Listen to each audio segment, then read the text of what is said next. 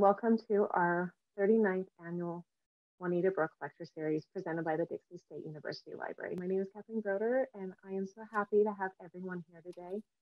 Um, and glad that everybody can join even all the way from Canada. That is super awesome.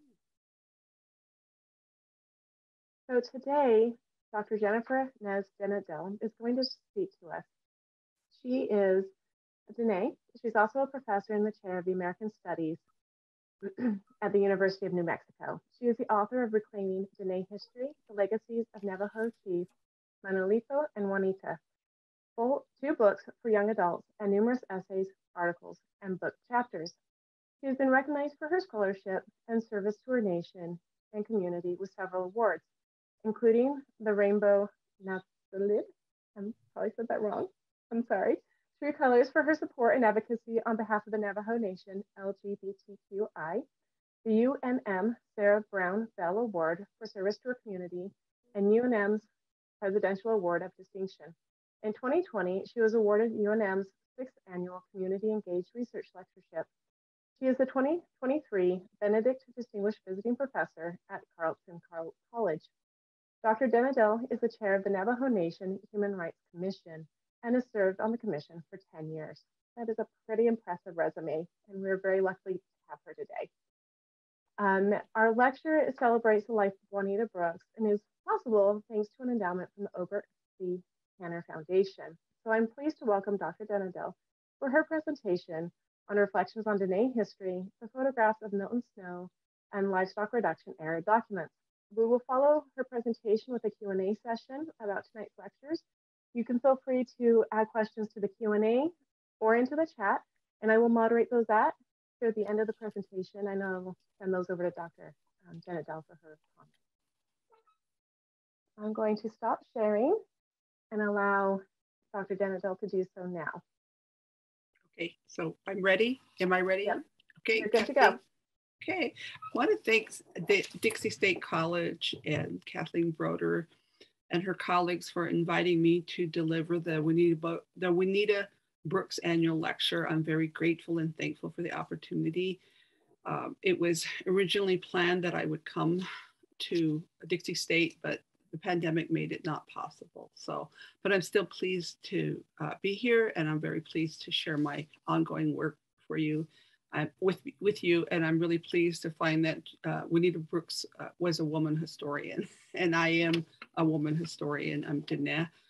And uh, I'm originally from Tohatchi, which is a Navajo community about 20 miles uh, south of the border town Gallup, New Mexico. That's where um, my grandmothers are from, and that's where my family continued to reside. Uh, what else? I'm also a professor and chair uh, at American Studies at the University of New Mexico.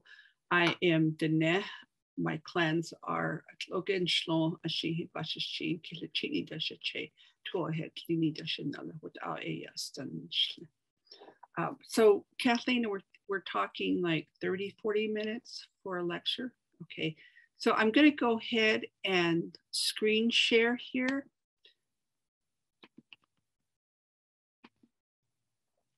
See what time it is. Okay, 6.03. So what I want to share with you this evening is my ongoing work as a historian. Um, I find I've come to, I'm coming to some kind of recon reconciliation with myself that I'm really not a book, a writer of books, but I'm a writer of essays. I always have something um, in the hopper. I'm always writing essays, um, book chapters, and journal articles. I just completed two short essays one for a water project um, that uh, a firm asked me to write. And then I'm working on a revision for an essay for an art exhibit at the Amon Carter Museum. So I'm always writing and I'm always working. And one of the things that um, I love to do, love dearly, is to work in archives. And so what I want to share with you this evening is um, a, one project that I'm working on and it has to do with it starts out with the uh, the Milton Snow uh, photograph collection and documents, which um, the Museum of Northern Arizona in Flagstaff, Arizona owns, but also the Navajo Nation um, owns the photographs as well of Milton Snow. Um, so here's a photograph of Milton Snow, and I'll show you a picture of Milton Snow, and I'll tell you more about him. So I wanted to talk first about the kinds of sources that I work with, one being visual images, um, photography of indigenous people and of Navajo people. The second one, the second collection that I wanted to share with you that I'm just working with um, more recently, worked in several years, is the the Solon Kimball uh, collection, uh, manuscript collection at the Newberry Library in Chicago.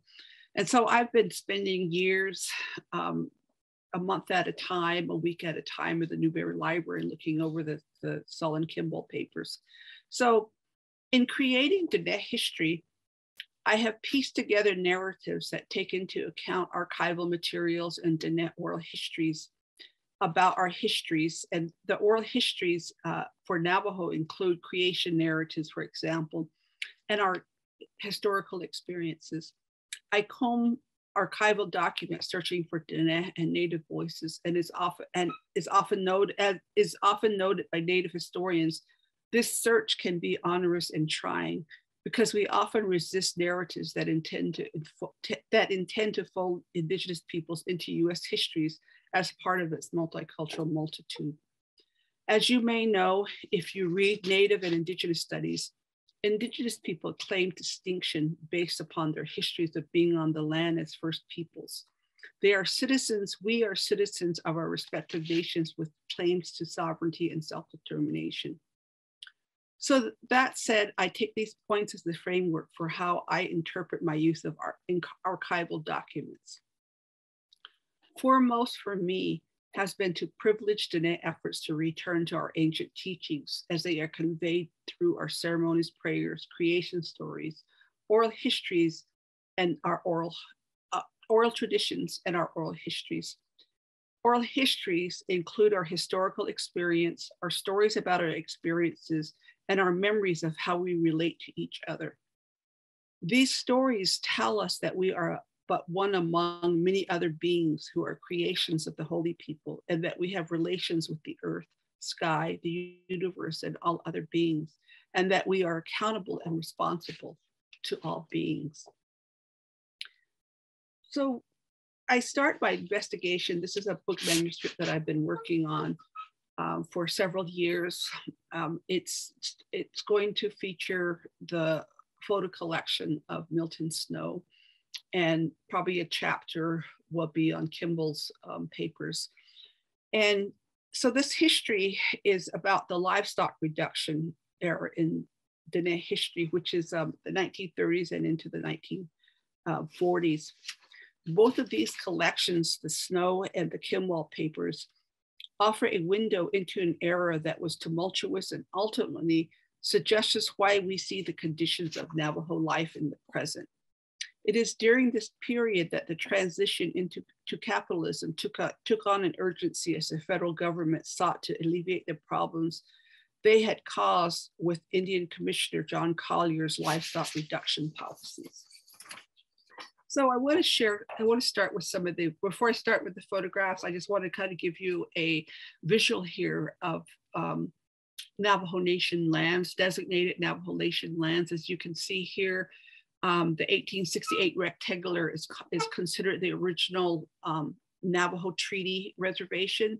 And because of our population, after Navajo people returned from Bosque Redondo in 1868 after being um, captives and prisoners of war of the United States from 1863 to 1868 with the signing of the treaty um, on June 1st, 1868, Navajo people were allowed to return home. And so the, the 1868 treaty, the rectangular there, has always been much too small. And in fact, when Navajo people returned in 1868, they returned to the places that they had called home prior to 1863. So you can see all of the land additions that were added with 1934 being um, the, the, the last time lands were added to um, the, the 1868 reservation. And those were added as pre, uh, U.S. presidential executive orders. So I just want you to have, have that, that visual of um, Navajo land. Okay. Now, the livestock reduction era is a period that often that some Navajo people um, might uh, or do um, say is similar to their experiences of what happened to them um, at Hwéeldi, which is our Navajo, which is a Navajo word for the Bosque Redondo. Um, from 1868 to 18 into the 1880s and into the 1930s, um, a fair number of Navajo people were able to return their life, return to a life um, that that was founded upon livestock raising. Okay, and so this is a this is a Milton Snow photograph uh, of Navajo sheep in a Navajo home. This is um, in the uh, 1930s and 1940s. Okay, and so um, John Collier's livestock reduction policy, which was considered draconian, mandated that Navajo people reduce their livestock flocks uh, and sheep, sheep and horses and and goats by 50%. Okay. And so that's been at the heart of the problem, part of the problem. And, and so with this, with this re-engineering that John Collier mandated, which was really um, resisted by Navajo people, was not understood by Navajo people. Um, you had in the 1930s and 40s a whole host of people um, they often called them well intentioned um, federal officials, white reformers, missionaries, anthropologists, travelers who were coming um, onto Navajo land um, and offering, and the federal government was offering their technologies um, for improvement of a land that was de- environmentally devastated. And it was, it was um, attributed to having too many sheep.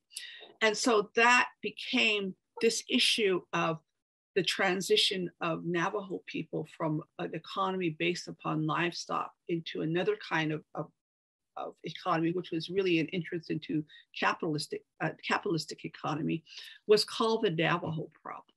Okay. And so, you know, according to this definition of the Navajo problem, which you'll see um, referenced oftenly, uh, you can see some of the, the rationale and some of the um, the statements that guided um, federal officials and other white reformers on how to help Navajo people. And then this is anthropologists uh, Clyde Kluckhohn and Dorothy Leighton, 1946. They say uh, today the Navajo are facing for the first time in their completeness and full intensity these difficult questions. How are the people to live with white Americans? What alien ways must they learn if they are to survive? How much of the old pattern of life can they safely and even properly preserve? Okay, so the questions at the time into the, the late 30s, 40s, 50s was um, was how to transform a, pe- a people's way of life uh, and for um, the, the imposition of these principles and these um, ways of life really were part of an integration of Navajo people into um, the U.S. Uh, polity. Okay, and so that's a that's a central question. I think that's always been at the heart of um, Native and Navajo histories studies as well. Okay, so some of the things that I came across in the archives um, is, you know, there's just, there's so much stuff, there's so much um, documents and reports that are related to the Navajo problem. And one of the things that I look at or I think about, and I'll, I'll talk a little bit more about that as we get to the photographs, are um, the ways that they decide of how to save Navajo people. Okay, so you have these studies, for example, you have say sustainability studies, there's a study of family, Navajo family groups, the distribution of Navajo populations. Okay, and so this is just an example of um, a study that I found in one of the archives. And I'll say a little bit more in terms of the archives because when you look at archives and take a step back and you're you're critical about the kind of information that archives hold. Uh, the work of Edward Said was very very um, important to my understanding my interpretation of how archives work because archives are filled with knowledge of documents and photographs and maps and, and documents of expeditions of faraway and exotic places. And so these what's archival knowledge then um, gets replicated over and over and it becomes knowledge um, that doesn't change about a distant people. And, and, so that kind of way of thinking about what's in the archives um, and, and, how it gets replicated in ways that makes um, a person think they know a culture, they know a people, um, is very part, important in terms of um, what Edward Said calls the archaeology of knowledge. Okay, and so I look at what's in the archives.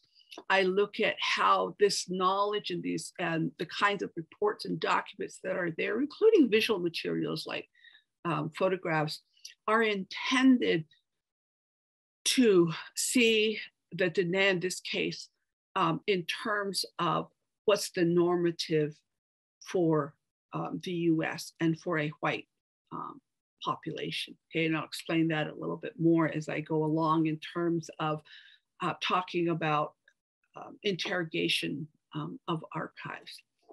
And so the first thing that I want to do is to uh, uh, um, share with you a few photographs from Milton Snow's um, collection. Milton Snow um, took over 12,000 photographs of Navajos and Hopis. Um, from he worked for a Navajo service, which was the Navajo um, uh, the Navajo um, branch of the Soil Conservation Corps in the 1930s and 40s. And you might be, you know, more um, familiar if you hear the word like the New Deal, for example, in the Depression era. This is the era. This is the time period that we're talking about. Um, he took these photographs are in archives all um, you know the, the the the like I said the the bulk of it uh, is owned by the Museum of Northern Arizona. The Navajo Nation owns um, a substantial collection. You can also find them in the National Archives. And Navajo people will recognize the photographs, but they won't know that they were that these are Milton Snow photographs. And all kinds of editors, journals, writers, uh, people who were traveling in the Southwest and creating uh, stories um, would write to Milton Snow and ask him for um, use of his photographs to illustrate their stories and you know reports and things like that. And a lot of times you won't find these photographs attributed to Milton Snow. Um, so Milton Snow um, came to Navajo um, hired by Navajo um, by the Navajo um, service. Um, his directive was to produce visual materials to document the environmental catastrophe that threatened to make Navajo land unlivable, and simultaneously to educate about the benefits of introducing Navajos to superior Western technologies ranging from science-based land management programs, water development, farming, and irrigation methods, to the introduction of principles of Western democracy that targeted government reform as well as imposing notions about nuclear families as the bedrock of modern nations. Snow's photographs were used to illustrate reports and other documents to demonstrate and confirm that federal officials were addressing the Navajo problem with positive results. Further, because in the 30s and 40s and in the 50s, the Diné were primarily um, Diné language speakers and almost completely illiterate in English. So Snow was instructed to create education materials through images. The Navajo problem, as federal officials saw it, was to bring the backward Navajos into the modern world. Their state, Navajo state, was one of underdevelopment commonly associated with third world countries. So through progressive technologies of the West, Navajos could be saved.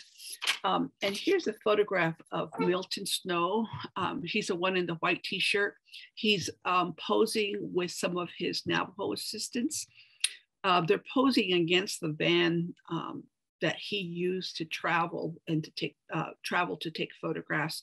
He slept on top um, in, in, at night, and the inside was a makeshift um, photograph laboratory. Okay, by all by all the accounts that I've read, um, it said that Milton Snow was on very good uh, and friendly terms with um, Navajo people. It's um, Milton Snow had um, cerebral palsy, and so he shook very badly and he stuttered very badly. And so he really paid attention to his art, um, to to getting a photograph, and you can just imagine how much it took for him to um, produce these photographs with um, uh, his health uh, the way it was. Um, his writing, there's very little um, writing that he left behind, and it's in the kind of it's it's in a scrawl um, because of you know him having it um, having to, um, uh, trouble with writing. Um, but he did leave uh, several uh, files of poetry, of, of poems that he had penned. Interestingly, in all the documents that I've looked at, um, he doesn't say very much, very, very little about um, the Navajo people with which he spent more than um, uh, 20 years with. Okay, so that's kind of interesting. Now, the kind of photograph photography that uh, Milton Snow was directed to do is often called documentary uh, photography. And what he was detailed to do was to record um, the condition of Navajo land, uh, particularly the environmental devastation. This was the rationale for John Collier's um, mandates to reduce the, um, the livestock by 50%.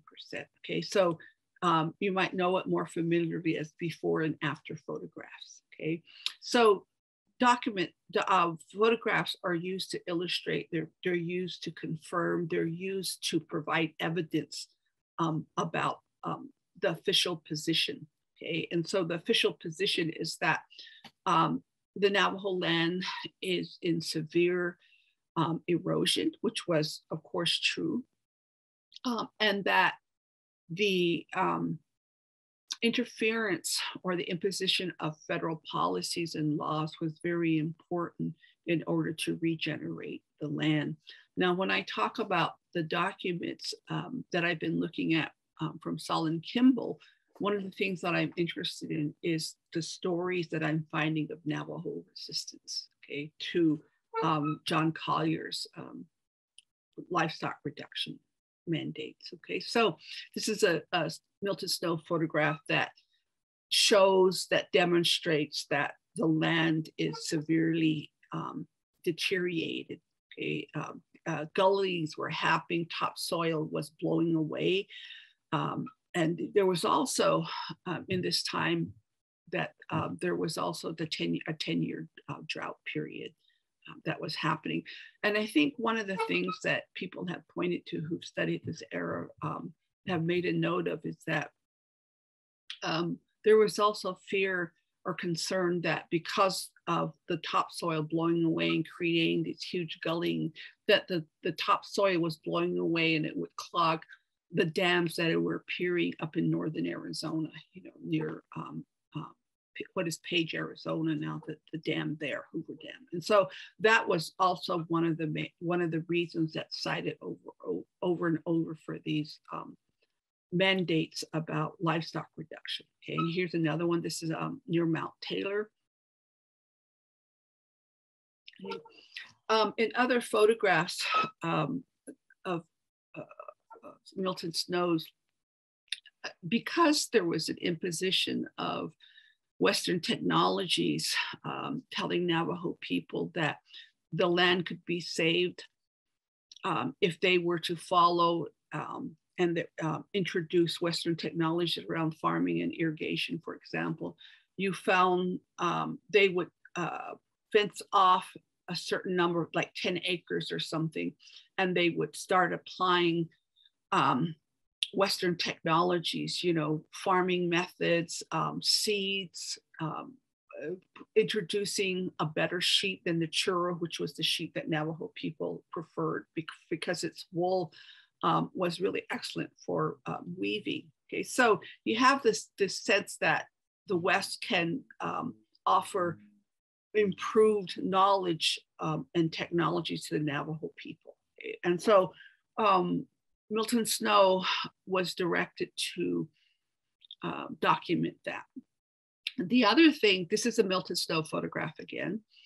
Um, and here, the, the Navajo people are looking at a diorama because this is also the 30s and 40s and then into the 50s and particularly when the 70s, you begin to see this um, these expeditions and their surveys to determine um, what natural resources were available for extraction. Okay, and to also that it was important to make um, these discoveries um, palatable to the Navajo people. So here you have a, a, photograph of Milton Snow, and this is at a tribal fair, probably in Window Rock.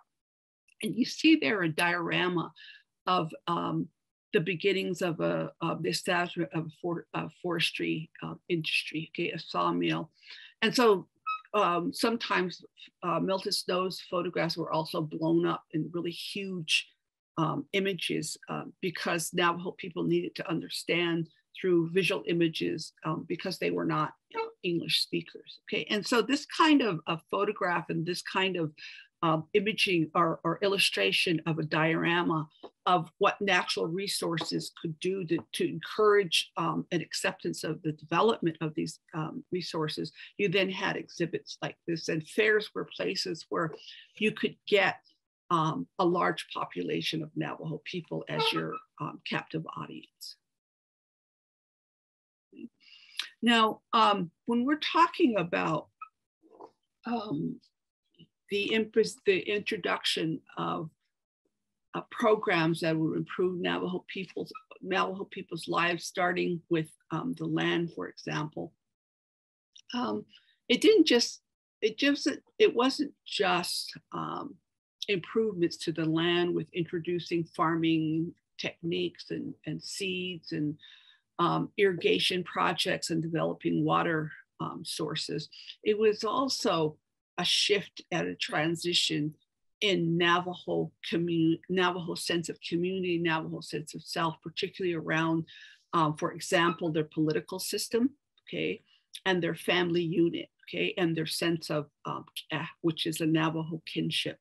So here in this photograph by Milton Snow, you see um, the transition of Navajo senses about leadership, um, be, which began at Hwéeldi in 1863 when the military officers and then the Indian agents um, divested the men, the, the men leaders um, of their authority and replaced it with their leadership. That kind of um, imposition of a patriarch that men were leaders continued into the 1930s and the 1940s. Okay, and so here men, um, Milton Snow uh, has taken a picture of Navajo leaders um, in the uh, kind of in the middle here, wearing a dark um, uh, suit coat and a, and, a, and a white shirt is Chee Dodge, who's considered the first modern um, leader, the chairman of, of the Navajo Nation, of the Navajo tribe at that time is what it was called. And these are probably first appointed and then elected council delegates. Okay, so one of the things then in these photographs that you can trace or you can ask questions about in terms of um, how you read a photograph is that you also begin to see this transition um, from um, a sense about what leadership means a sense of what the relationship is between men and women,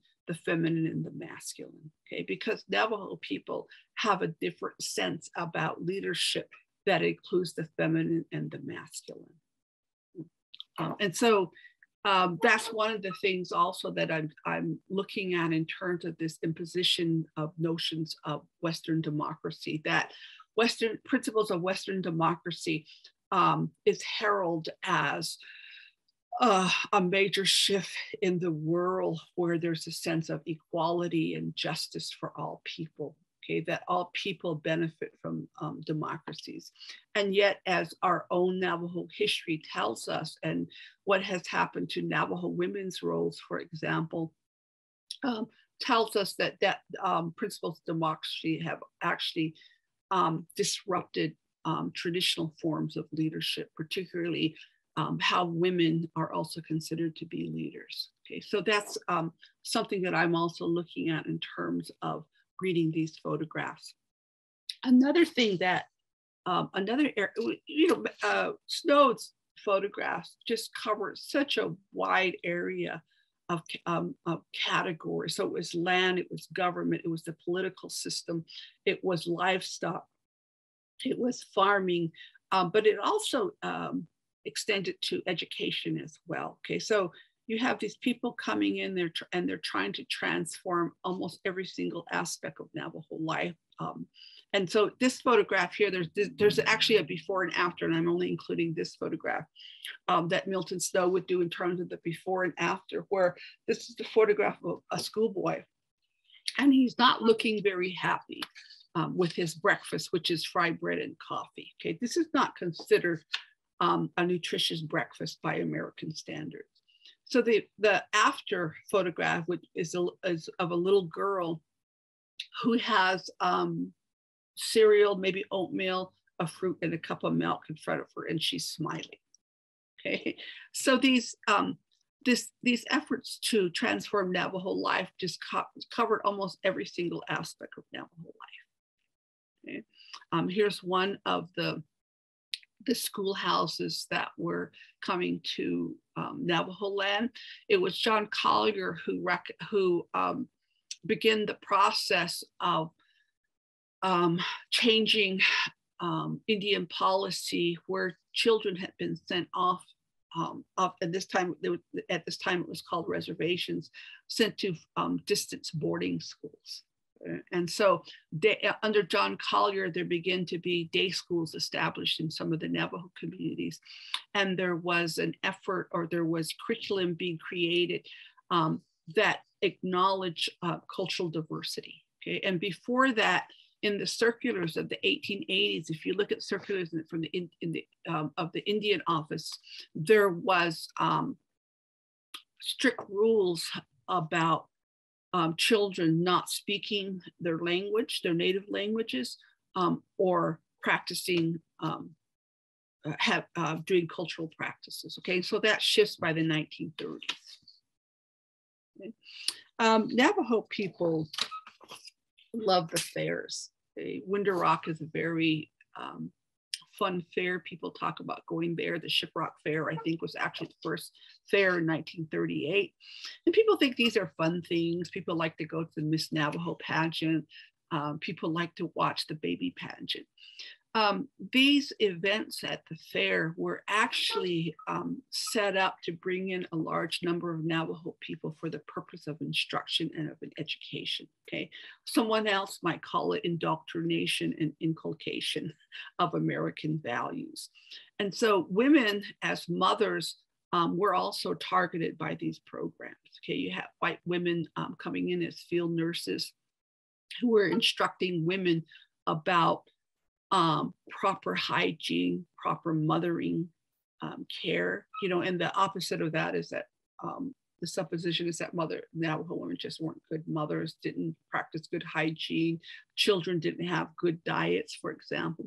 So they brought, they had these events at the fair and um, illustrated or demonstrated, for example, childcare. You can see the, the, the mother smiling, you know, while she's washing her baby and there's onlookers and then there's a there's a Navajo man in Western dress there narrating um, as the mother joyfully washes her child.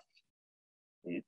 Um, at the day schools, um, there was a, a, a, sense of community there where where the um, Navajo people were encouraged to come into the to the schools, the day schools, and the boarding. There were still boarding schools, and use some of the um, things that were available there for them to use, for example, sewing, sewing machines. Okay, so these seem like innocent projects, okay, um, but they were really ways of mapping and supporting um, the program to bring Navajo people into the fold of American society.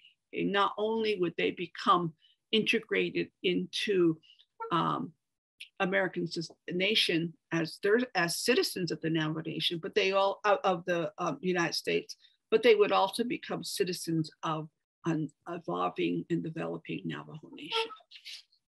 Okay. So here's the photograph that I started um, the presentation with.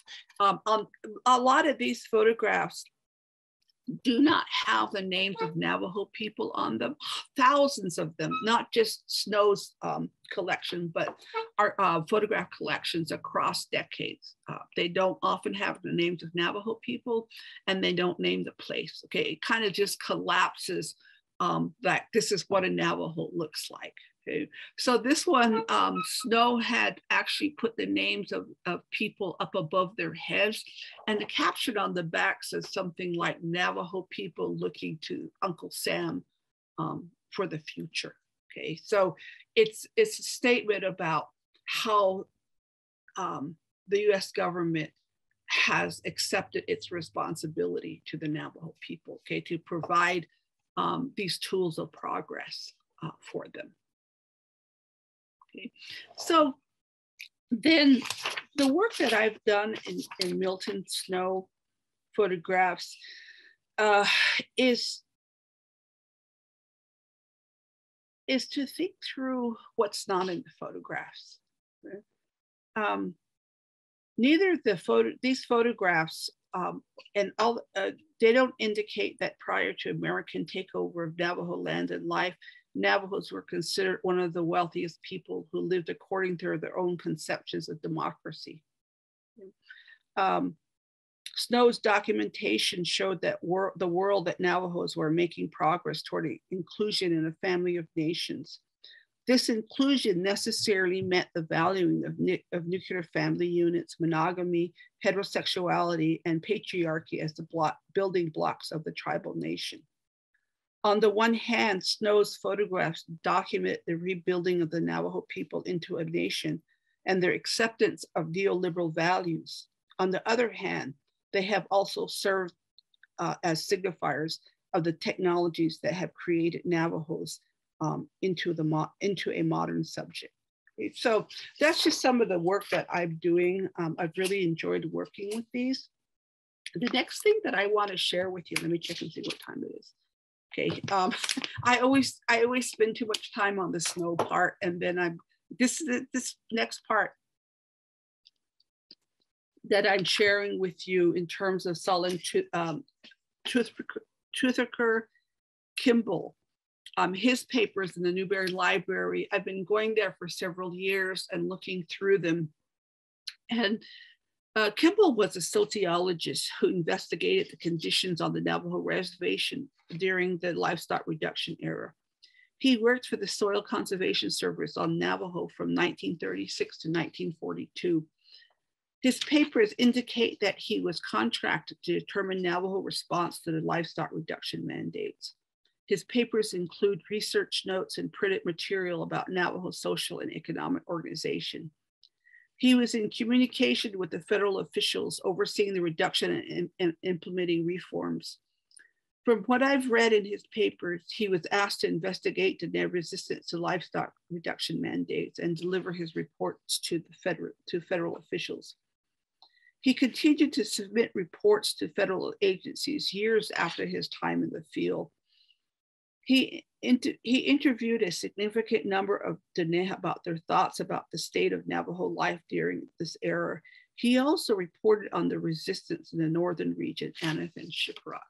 And so my interest right now in the Stumble, uh, in the Kimball papers is a couple of files, several files in which um, Kimball maps or he has in their documentation of Navajo resistance.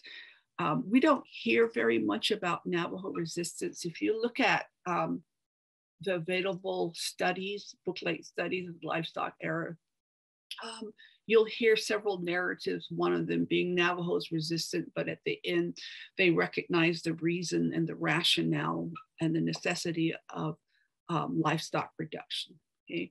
Um, a common refrain in the reports is that um, if you just um, appeal to Navajo reason, um, they'll agree that this was the only way um, to regenerate the land. Okay, those Navajo people who continue to resist are met with violence, okay? and that's never um, hardly ever talked about. I think as fully um, as it should be.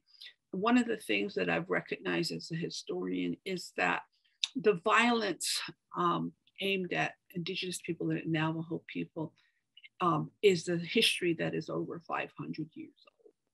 Okay?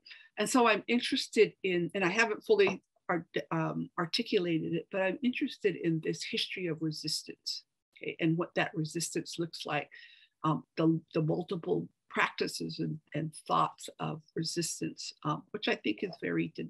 I'm very interested in that. And so um, uh, Sim Kimball reports on the unrest at Aneth and Shiprock, which is the northern region of Navajo. Um, is in southern Utah, and Shiprock is um, in, in what is now known as the New Mexico portion. The amount of energy and resources that went into stamping out Navajo resistance was violent and intended to show Navajos the law of order, the rule of order. While we may think about the show of force at Standing Rock as an isolated display of settler violence against Indigenous people, in fact, settler violence is, as the anthropologist Patrick Wolfe said, a structure and not an event. Meaning that every single time in the history of this continent, settlers used violence to contain Indigenous people. Similarly, the production of intellectual materials is also intended to overlook, ignore, sanitize, and erase any memory about Indigenous resistance. For knowing means we understand and appreciate what our ancestors did, that they did not go down without a struggle. We learn about our ancestors' struggles, the terms of their resistance, the price of their efforts for liberation, to live in the manner of their choosing. We do not have dissimilar struggles today.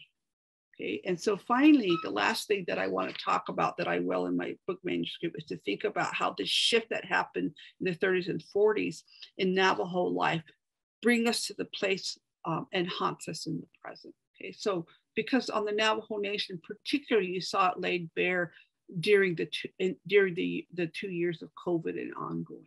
Okay, um, the lack of an infrastructure, undeveloped water, um, lack of access to water, um, the state of, of the economy, um, the introduction of wage work, okay, um, uh, really put Navajo people, revealed their vulnerability, okay, and I and I place that in the 30s and 40s with this transition from a, a, a economy of self-subsistence and the movement into a wage economy. Okay, so I just want to mention a couple of things. Um, Kimball's report um, he reports two localities, one in Aneth, Utah, where there was threats of violence, um, not only to government employees engaged in their proper duties, but also to any Indian who conforms to government regulations.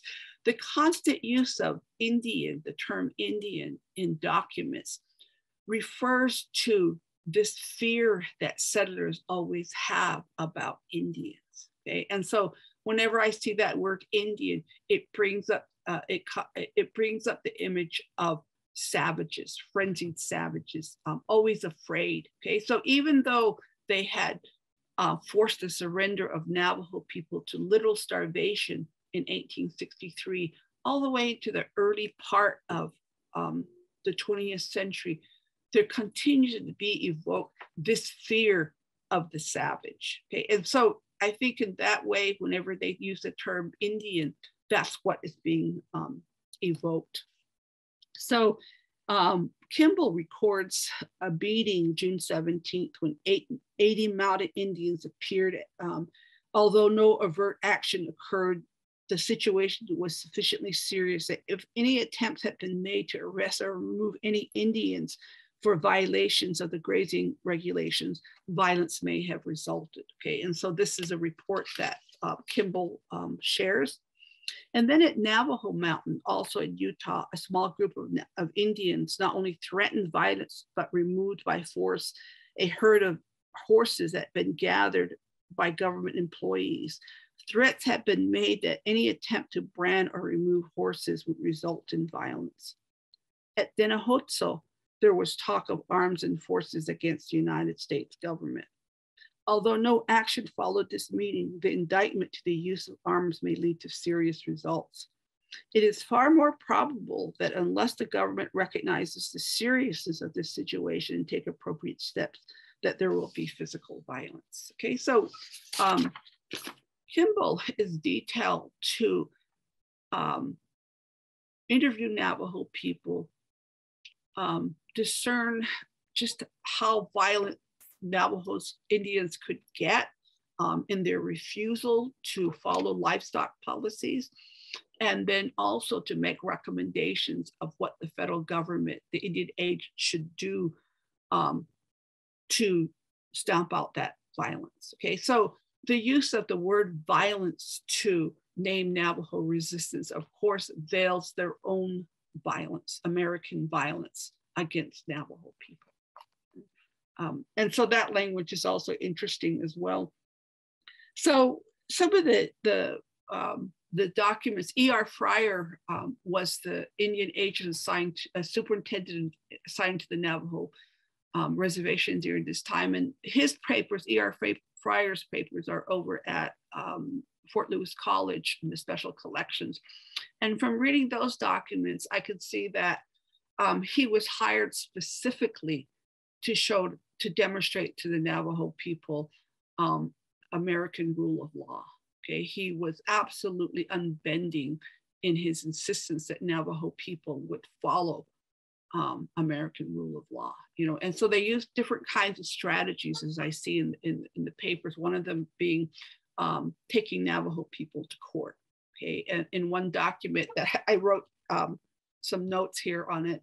In one document, there's a um, court hearing for um, a couple, two couples, Navajo couples from Shiprock. They have to travel to Aneth, Utah, to be um, um, to face charges in the federal court in Aneth, Utah. Okay, and the the federal official who makes the report says um, there was 80 Navajo Indians outside and armed. We, we think they were armed or they state that they're armed, but you never know if they're armed or not. okay, say they're armed. Um, they didn't cause any trouble, but their show of force was intended to tell us that um, the resistance is there.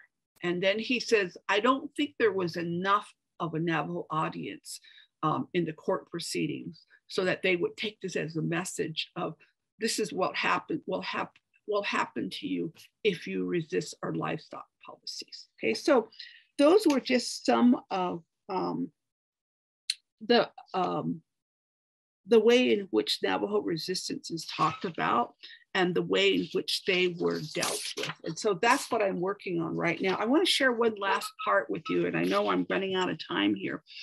But um, Kimball also has like over 100 um, interviews with Navajo people. And I have one here um, with Manuelito, who's age 16. Um, it gives a little bit of detail about him. He was he was a silversmith and he was uneducated. And one of the things that um, I think Kimball was looking for was Navajo responses to livestock reduction. And there's a very clear there's a there's a delineation with older Navajo people saying what Manuelito here says. He says down here at the bottom, sheep is all we know and we would like to keep what we have now. We wish to be left alone with our sheep. And so in these in these um, um, short pieces like this one, I hear a bitterness, okay, um, that Navajo people have um, about what has happened to their livestock. Um, and then you have other people like this one with Maxwell Yazzie, who's age 55. He attended Tuba City um, and he gets a job in Window Rock and he's very bitter. He said there's a hierarchy there. and Navajo people can never hold the, the, the jobs with the benefits and the wages um, at the top of the hierarchy. Okay. Um, and so there's a there's a, this beginning of the transition in the in the um, 40s that you see of Navajo people beginning to accept wage work and the and the avenue or the way to wage work is through an American education. Okay, so I see a very clear generational difference of how people became our people begin to accept education as the way as the means because our economy had been destroyed.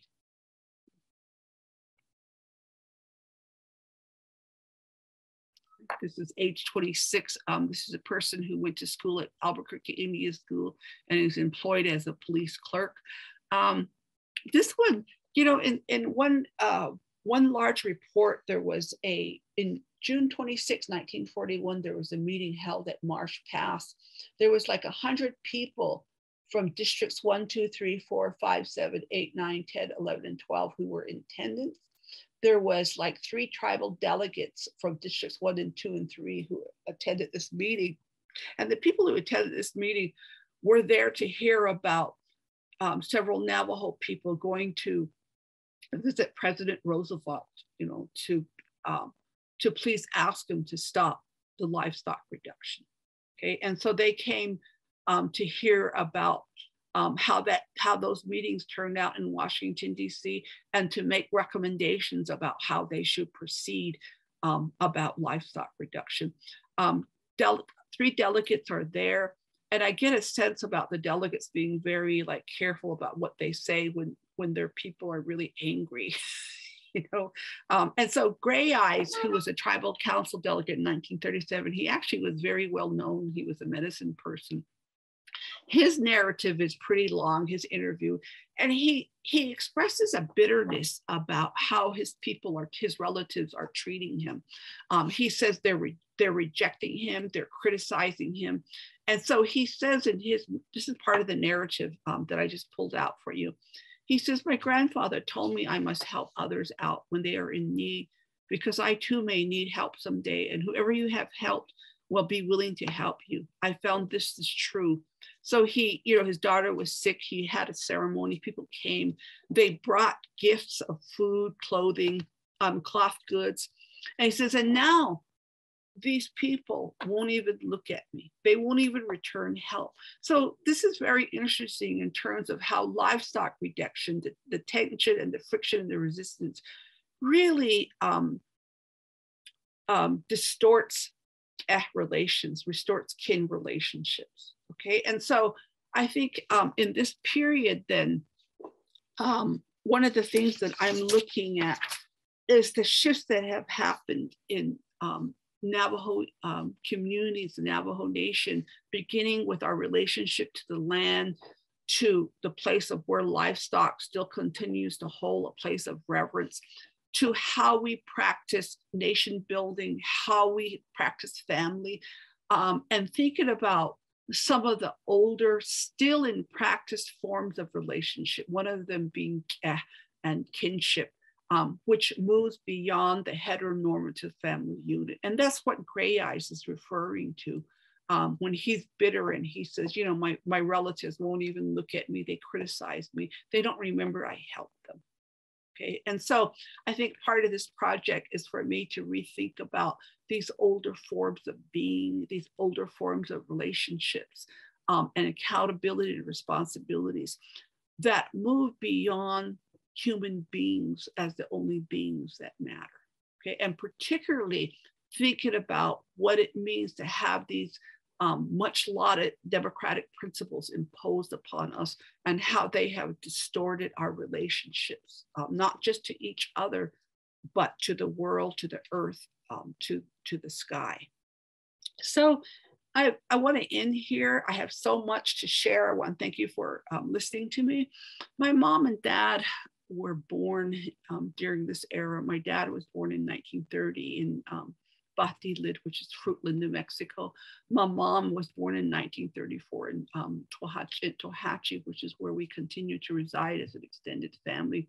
They were raised, they were born, I, I would dare say that, and some Navajo people would, would you know, immediately um, challenge me on this, but I think my parents were probably the last generation of Navajo people who were integrated into a um, livestock economy. They, they both were um, sheep herders for their family. They were both Navajo fluent speakers, uh, but they they experienced life in this transition in the 30s, 40s, and 50s. They actually met in boarding school at Stewart Indian School um, and followed the mandates of the normative family unit according to American standards. My dad my mom they made an agreement when they married which they kept for 60 years. My dad would work outside of the home.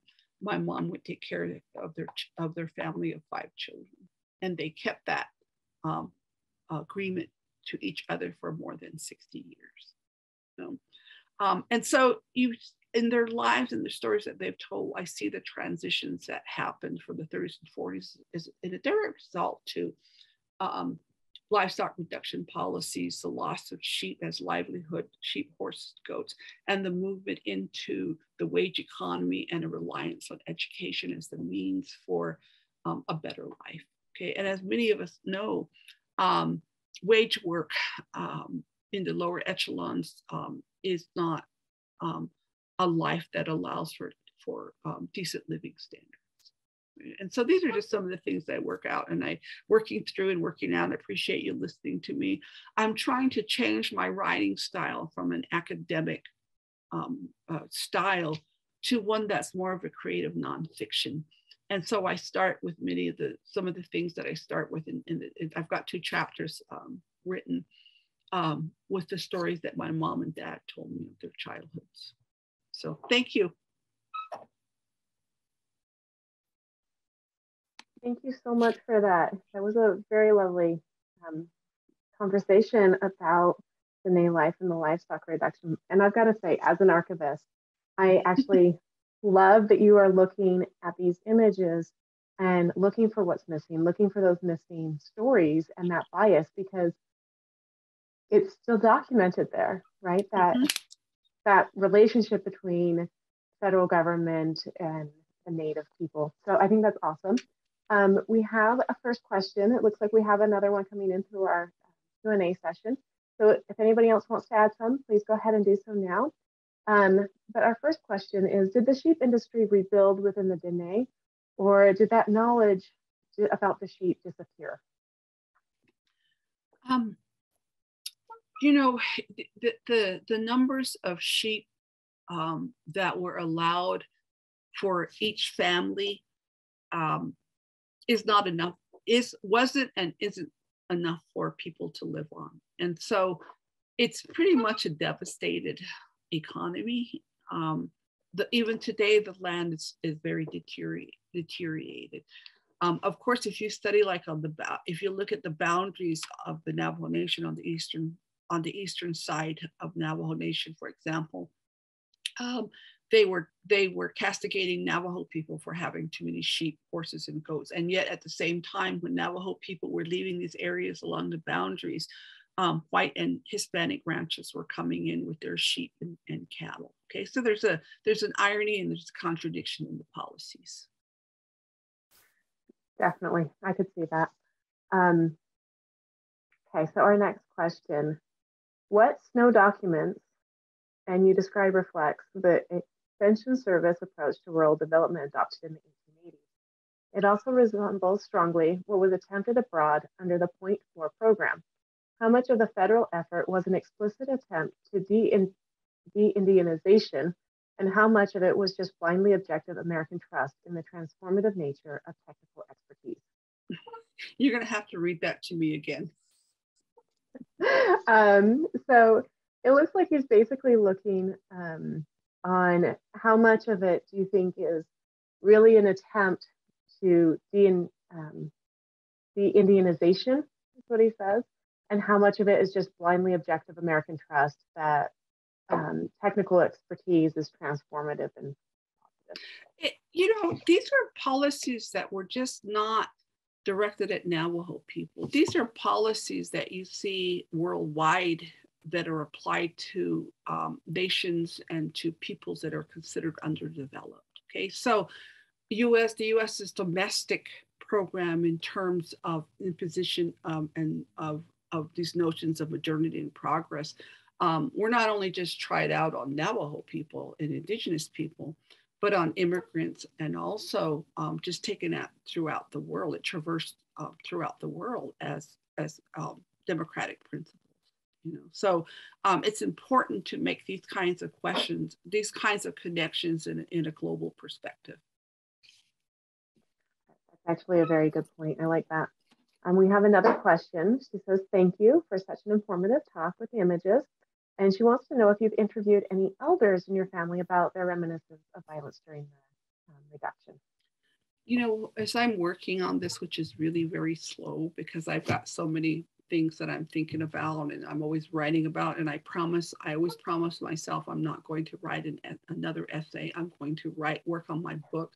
I just got a, an email query, um, and it's actually a, a, book chapter on, on Milton Snow. It'll be my first one, asking me if my chapter was ready. When I said I wasn't going to do any more um, writing, I was going to I was going to um, devote my it to my book manuscript. Um, so, uh, what was the question again? It's about um, if you've done any interviews with the elders oh, in your family about so the reduction. yeah, one of the things that I've I've found, um, and I probably hope to do that this summer, and it's an important part of one. It'd be one of the chapters in this book manuscript is that I intend to go back to places um, that are featured in Snow's photographs. Um, I mentioned, for example, one of the biggest, what they call demonstration farm was in Mexican, Mexican Springs, which is just like um, 10 miles from my community of Tohatchi. They had fenced off an area and applied um, Western technologies as um, illustration to Navajo people, demonstrate to Navajo people. If you adopt these methods and these um, equipment and uh, all of this knowledge and, and technologies. This is how your farm could look too. In reality, in actuality, what happened was that these demonstration um, projects were abandoned within uh, like 10 years. Um, and so I'm tending to go back to some of these places. It's kind of like my own before and after uh, photographs as well. Um, I do have Navajo people interested in my project. Um, I haven't gotten to the point of thinking about interviews with people because I will require a um, an IRB, you know, a research. Mm. Um, um, what do you call it? Um, I have to I have to submit for that. Right. So I yeah, and that takes a long time. That makes sense. Um, yeah, IRB can be a little tricky to navigate. Yeah. yeah. As can writing from academic to a creative standpoint. So yeah, for trying. That that can be tricky. Um, we have another that says it would be very incredible to backtrack and find the photo locations. And as an archivist, I totally agree. Um, but it seems like that might be incredibly difficult to do. Um, I'm only planning for like three or four sites. um, and I, you know, one of the things that I've had to think about a lot about in terms of land and relationship to land um, and, and the places that you get um, a sense of a relationship to land. What's important is through ceremony and through prayer, because the our our medicine people hold this knowledge, you know, and so that's not something you just go and and sit for one night and take notes and then you you write it or you you know you offer it and this is going to take some time to do you know um, I do have a wonderful relative um, who is a tra- traditional knowledge keeper. Um, and I've had the opportunity to sit with them in ceremony um, and hear about, you know, the, the, um, the creation of the world, um, the establishment of, of um, Dinétah and the Diné Bikéyah, you know, which are two different understandings of what Navajo land is. That this is this is take research as a as a Diné historian, Diné researcher, um, really takes a lot more, I think, of energy and building of relationships in order to do that work. And then the other question is, who am I doing this for? Do I really need to put it out there for the world? Um, is it just for myself and for my relatives to do this so that we continue to carry on that knowledge? That's a very important question. I agree um, your audience can matter and who who is it meant for? It can be a very big important question with the native. So I have one last question. This is actually one from me. um, my aunt actually went to the Navajo Nation. It had to be in the late 60s, early 70s, first as a Mormon missionary, and then as a school teacher. And I remember being a kid listening to her stories and just be fascinated because they were so lovely and awesome. And I know she learned Navajo at least enough to communicate with the students. But I'm kind of curious, where was the education? Was it still that part of assimilation by the 1970s? Or had it changed so it was more, I don't know. Tell me about it. You know, when I mentioned that my mom and dad were were probably the, the last generation who had been um, really part of a livestock economy, um, they were also uh, they I, I, don't quote me on this because I'm not sure about the language fluency loss, but I've heard um, statistics um, like 80% now language fluency loss, you know, and that that is directly related to the boarding school experience. You know, my mom and dad were fluent speakers. Um, they spoke to each other every day in Navajo. Um, and my dad, they went to boarding school. They met at their Indian school in, in Carson City, Nevada. And when my when they came home and they raised their, they got married in in, in a um, Orthodox Roman Catholic church in um, Carson City, came home to raise their family. And my dad just had this policy at home that his children were to learn English, you know. And so they never expected us to speak English, to speak Navajo, even though I, I, I understand it like a fluent speaker, you know, and I'm starting to speak it um, conversationally with people. Um, but that was part of, of the policies that had they had um, that my dad had agreed to, you know, for for his children. And it's devas- it's absolutely devastating um, to have this incredible language loss, you know. And so that starts really comes in earnest in the 30s and 40s with this with the with the um, um, projects, and you know, people sanitize it by talking about it as assimilation. We're really talking about genocidal policies and the efforts to mm-hmm. exterminate us as indigenous people with distinct ways of life and ways of being. So I'm always honest about. No, I, I think that's fair. And it kind of makes me stop and think, you know, what is maybe my family's role have been in this? So I appreciate the honesty. Um, it looks like that is all of our questions when we're over time. So I want to thank you so much. Thank you for your time. This was very eye-opening and a very lovely presentation. Thank you. Thank you. And thank you all of our viewers for joining us. I appreciate it.